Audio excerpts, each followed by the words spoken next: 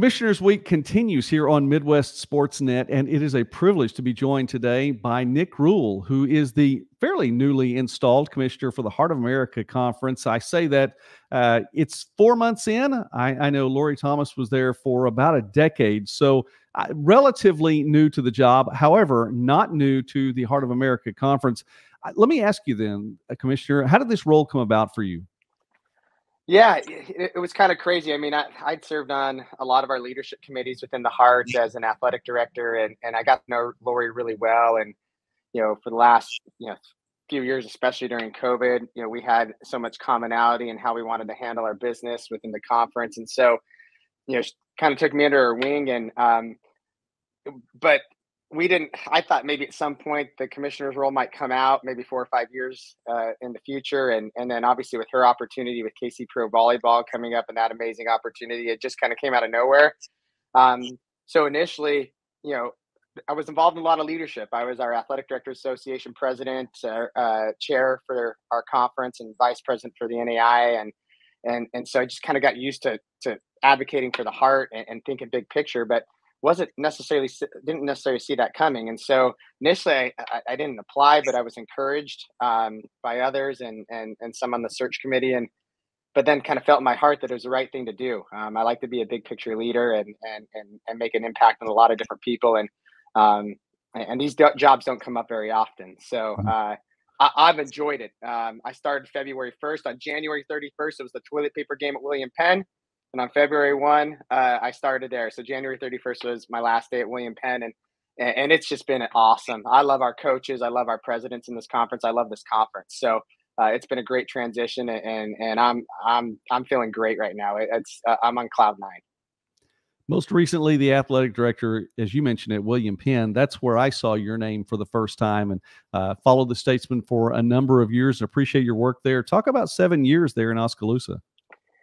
Yeah, you know, gosh, I, I started coaching in 2010 at William Penn, and I was a you know, student athlete before then. And um, you know, it, it, was William Penn gave me a shot, right? Um, you know, I I didn't know what I was as a leader until I showed up on that campus, and so you know, I'm grateful for the opportunities there. And and frankly, President Ottosson at William Penn um, took a chance on you know a 29 year old, uh, you know, golf coach who wanted to be an AD one day, and I worked in the development office and fundraising, so I had a little bit of that type of experience and took a chance. And um, it, I, I, had a great seven years there. Um, you know, we went from sometimes barely cracking the top 100 in the Learfield to you know being a you know perennial top 40 you know program or athletic department, and made a lot of changes, culture changes, and um, and it was a great time and great learning. Um, and, and, just being around people and managing people and and and trying to be that big picture transformational leader. And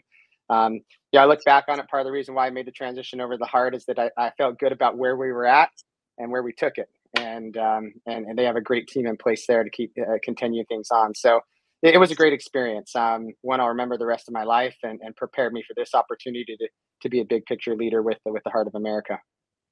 I've wanted to ask and uh, i'll ask you maybe a couple more about the idea, quote unquote, day in the life of. And so let, let me uh, present then crossover season. I know there are a couple of crossover seasons each ac- academic and athletic year. So let's just uh, say right in the middle of the conference basketball tournaments that are going on. Of course, there's so much else baseball, softball, numerous other sports right there at the first part of March. What's a day in the life of like for a conference commissioner? Yeah, it's interesting because you know, I, I think when I was in the AD space, I looked over on the commissioner side and I was just okay. Like I asked the same question: "What's a day in the life?"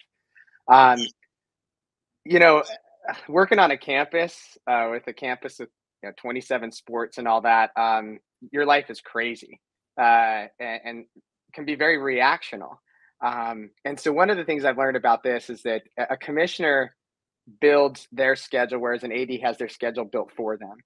So um, the transition to crossover season, as far as the craziness of it, honestly didn't it didn't really faze me um, because I'm used to it, um, and I'm used to it on regular season, postseason, and all that. And so um, it was actually uh, felt slower to me, um, and I was able to li- be a little bit more intentional um, with my communication and efforts, and just like what Tyler and I are trying to do within the conference office. And so uh, it didn't feel overwhelming. It, it actually felt like, okay, we're doing good work here, um, but he, but we were able to assess. And what we've gone through a lot within the conference is assessing where we're at, where we want to be, kind of like what we did at William Penn, where we're at, where we want to be. And, and we, we're in a really good place. Lori Thomas left this uh, conference in an incredible place. So we can think very, you know, broad on how we can uh, impact our student athlete experience. So, you know, there's travel and things like that, but uh, it's different than an AD. But but I I have a little bit more ownership of it, and we have a little bit more ownership of what we do in the conference office. And so um, I just think you can be a lot more intentional and deliberate with with what you're trying to to, to serve for membership. And so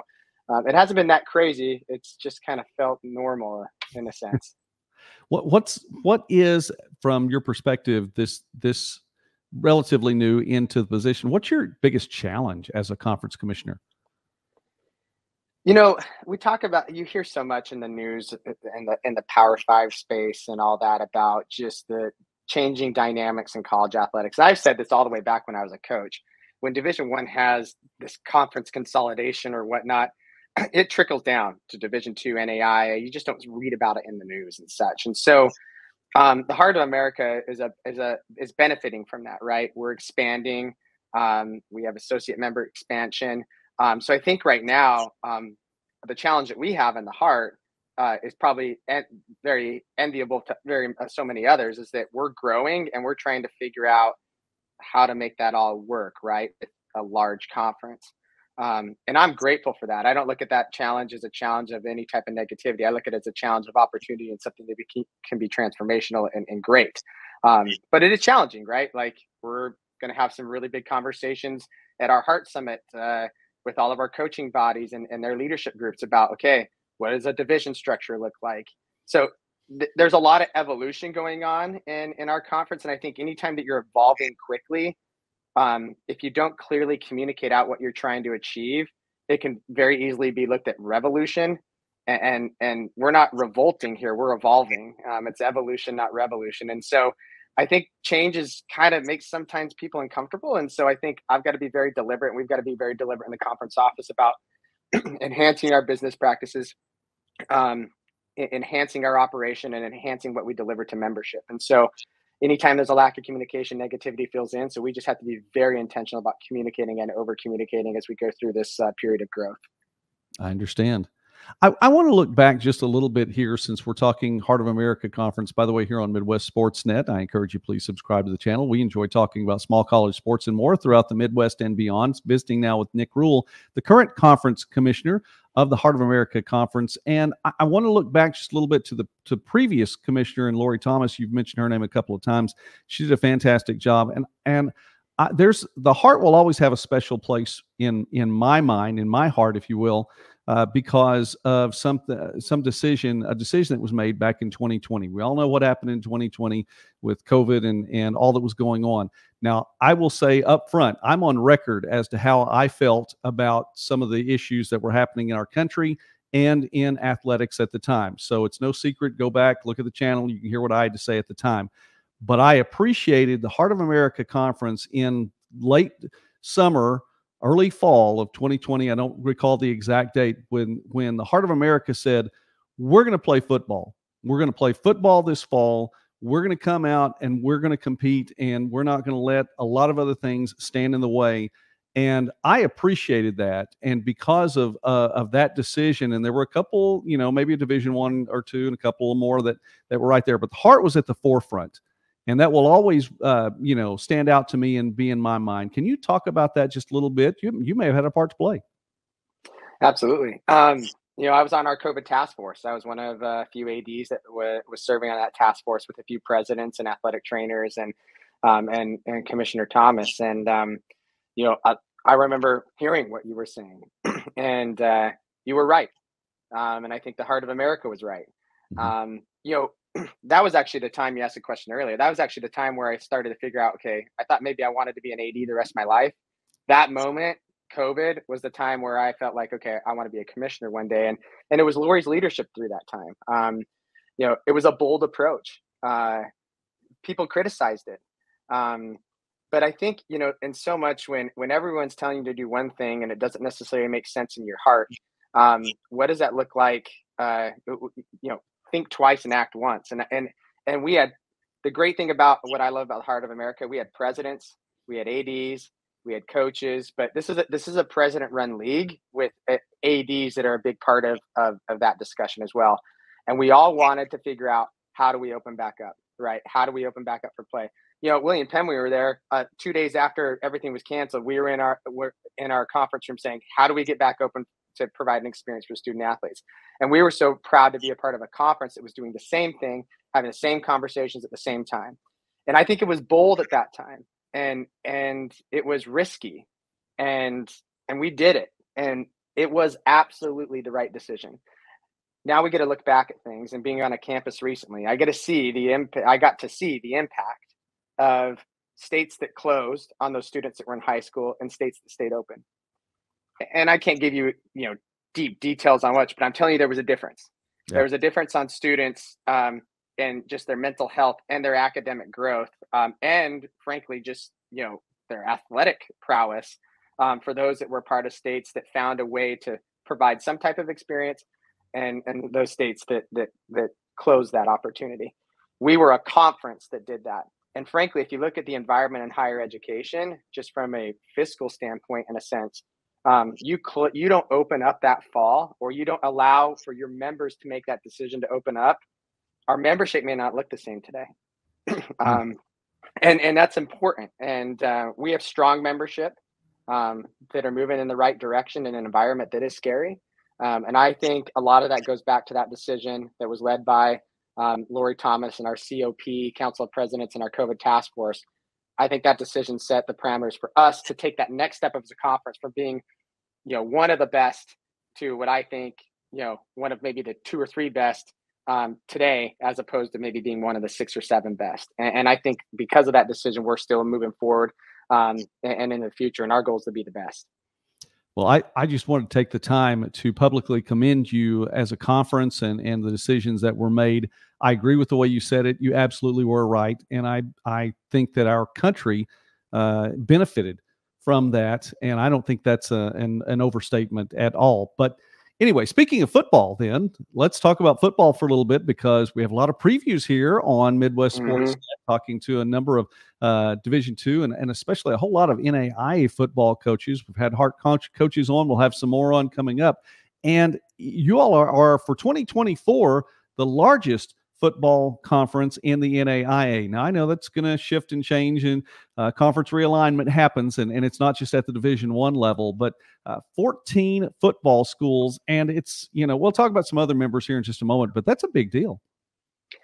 Yeah, I mean, we have a growth strategy and a growth plan that um, this is a con, you know from Lori's time to my time. Um, there were so many of us uh, involved in our strategic plan and such, and so it was such a great transition between the two of us because we really knew what we were trying to do and trying to achieve and growth was a part of that. So you know having you know st ambrose and william woods and missouri baptist you know coming over and into the conference as affiliate members uh, within football was important to us. And obviously with missouri baptist and william woods becoming full members not this coming year but next year i mean that growth was important part of our growth strategy um, just not in football but in just general across the board but if you look at it, I mean, I think we're attractive right now because you know we want to make a big time where we're at, and that's that's kind of our mantra right now within our conference is like, how do we make a big time where we're at? And we we had that same mantra when we were on a campus is just, you know, we want our student athletes to feel like this is important. This they're what they're doing is big time.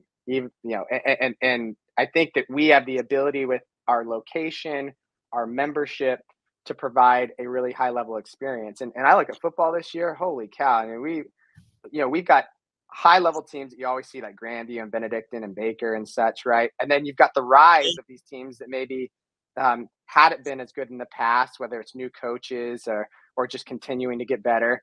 I mean, it's good. It is going to be really fun to watch this fall. Um, I mean, obviously Grandview's the front runner, right? They, have just been so good. Um, but I just I think you just see overall this gap is getting smaller and smaller um, from the bottom to the top, and and and that's that's great for the sport. That's great for the conference, and that's great for our student athletes to have some high level competition. So I can't wait to watch and see what happens this fall.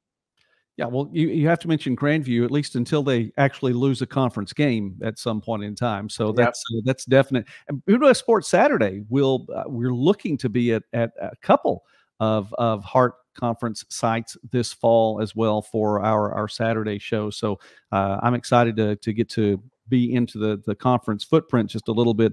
We well, touched on it, and I and I know we have a few schools that are trying to be the first game in college football. Period. I, I know William Penn and William yes. Woods have a Thursday game, and and I think Missouri Valley's working on one too. And I'm not sure if they've got that figured out, but you know, it, it's football is going to be fun this fall. Yeah, we're going to be we will be talking about football. Well, obviously all summer long, but uh, I, in the uh, not just August 31st uh, way back earlier than that too. You're right. So we definitely we want to highlight those schools. It should be a lot of fun. We've actually had a chance to visit with both coaches from William Woods and from William Penn already here on the channel. But uh, you all have not just it's not just the 14 football schools, 13 members, full members right now. Uh, you mentioned two more coming on with William Woods and uh, Missouri Baptist coming in in the 25-26 year. Uh, talk about that, but and you have associate members as well. I mean, the conference continues to grow. Yeah, I mean, it, it was so important. Um, you know, Missouri Baptist and William Woods just makes sense. Uh, you know, William Woods, from a geographic standpoint and what they're trying to trying to do, they have a new AD there, Steve Wilson, who who really fits the mentality of the type of administrator that that we see developing in the heart. Um, and they have a great president uh, that that just has that forward thinking you know, Missouri Baptist, they had already been in for, uh, you know, men's volleyball and, and had joined for football. And frankly, you know, you know, we, we have, we're in Des Moines, we're in Kansas City, we're in all those little towns in between. And, and then you're, we're up in Cedar Rapids and it just kind of draws to St. Louis. So we've got this, just this demographic, this area that, that really like, we wanted to get in the St. Louis area. Um, and Missouri Baptist is a great fit. You know, the other thing with those two is that, you know, they don't necessarily have to have different sports in in different conferences for affiliate membership. I mean, we have we have 27 championship sports, um, and uh, and so they could find a home for for everyone, really, almost everyone um, of their sports. And so we're excited about them. They've already they've already been included in our planning meetings for you know that next year as we grow, and um, and then our you know affiliate associate memberships. You know, I don't know why this is necessarily happening. Um, but but it's happening in a sense. Um, we knew that we wanted to consolidate lacrosse. Uh, you know, this there was just the KCAC and the Heart just had this. You know, they had a few teams. The Heart had a few teams. It was just it wasn't necessarily the greatest experience for student athletes. So you know, Ted Breidenthal and I talked just at the start, just like, okay, let's let's make this make sense. They're going to take flag football. We're going to take lacrosse, and and and so that that's uh, led to an influx of members. And then you know, men's volleyball. I mean, we're arguably the the best men's volleyball conference in the country, one of the two best. Um, you know, and and and so our men's volleyball, uh, uh, Corey Westra will tell you, GPAC schools coming down there just because of Jamestown leaving. There's there's just not enough schools, and so we're gonna have a 14 team men's volleyball league, um, and our men's volleyball uh, conference is legit. So um, that's been exciting. Our associate memberships have doubled, um, and I anticipate they'll probably continue to grow with uh, in sport by sport membership, and that's exciting to us as well because what we look at is when you're an administrator on campus. Because I've been there, as you said, like I, I understand how do we get our teams and our student athletes in a place where they're going to have a great experience.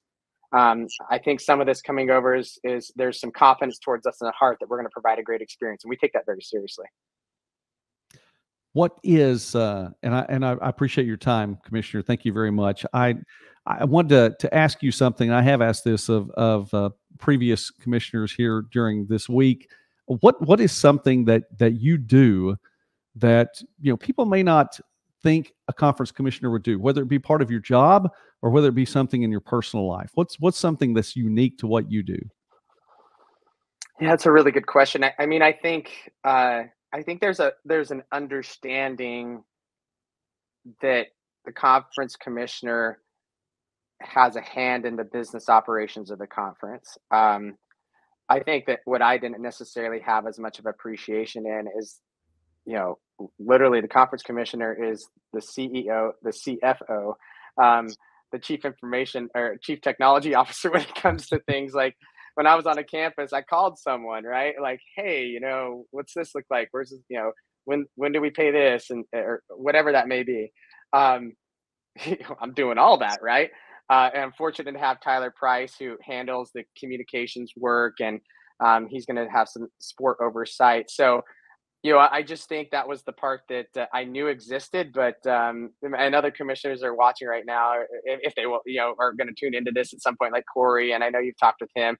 He'll be like, "Oh yeah, yeah, yeah," but it's just it's crazy. I mean, you you you're running the whole entire business, and what part of it I like about it, it's somewhat entrepreneurial in a sense, is that you know you get to identify the priorities with the money that comes in and comes out and such of working with your cop and everything. So i think that's one thing that people probably don't know is that literally everything comes through it. I mean we we work we, we have someone help us with doing tax at the end of the year but i mean paying payroll taxes everything. And so i think that was just something that i didn't totally realize that uh, has been a learning curve but has actually been kind of enjoyable and new. Well i want to give you the opportunity to to wrap things up and to give a commercial if you will to future student athletes, maybe even current student athletes, parents, or whoever may be watching right now, why should someone come and participate in one of the member institutions and be a part of the Heart of America conference? Yeah, in the world of college athletics, where you see consolidation, you see um, in some cases, you know, uh, things getting smaller in certain aspects or not growing. Um, we are growing um, we're growing. Uh, we're, we're in, a, in, an environment of higher education, where higher education, where things are um, uh, at times scary. Um, we're very stable, um, not only stable but but evolving. And so, our, our member institutions are all in. Um, we have a, a really exciting plan for uh, making our conference a very big time feel where you're at, whether it comes to championships or just how we operate from a business standpoint um, I, I, think we're going to look to and we're going to look at what are the best small college conferences in the country? And we're going to look at all different levels. And, and we want a, the heart of america to be in that conversation every single day. So you're going to see a marketing push. You're going to see a digital push online with social media. You're going to see just a you know championship enhancement um, push and, and and everything to benefit our student athletes. And so you know if if whether you're a coach looking to come to the heart or a student athlete obviously that's the most important coming to the heart. Um, you're not only going to have a good experience on your campus because our member institutions are bought in, um, but you're going to have a great experience within con- in the conference, and it's going to feel really big time. And and that's something that we're going to focus on every single thing that we do um, is making a big time where we're at. So uh, there, there's there's no risk um, in, in, having a high level experience coming over this direction because because we're going to deliver, and, and and that's just something we're really really passionate about right now. All right, that that that's fantastic. Commissioner Nik Rule in his first season, first well, heading for your second season next week, but mm-hmm. uh, first first full year uh, in the 24-25 season coming up. But uh, the new commissioner for the Heart of America Conference, and I appreciate your work, sir. Also, appreciate the fact that uh, you've taken some time with us here today on Midwest Sports Net during Commissioners Week. Thank you again, and as always, we're going to follow the Heart Conference this year. Yeah, I appreciate the work you guys do. You, you provide a platform um, for uh, probably one of the most important levels as far as small college athletics in general, NAI Division two and all that. But NAI, I think, as you looked in the next ten years, is going to be the more the most important place for uh, the tr- the real approach to college athletics going forward and and just what that intentionality looks like in a world that's changing so much and so we appreciate you giving the platform and and uh, really thank you for having us on